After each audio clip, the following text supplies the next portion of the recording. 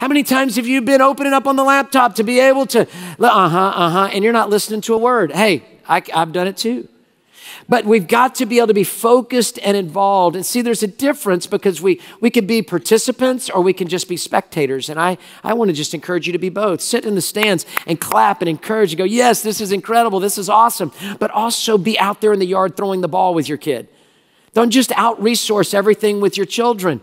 Allow it to be somebody that you're involved in their life. Man, I can't teach them trigonometry. I can promise you that. It's not going to work to come to me for trigonometry. We're going to have to get a teacher or a tutor or something like that. But I can be interested in your school.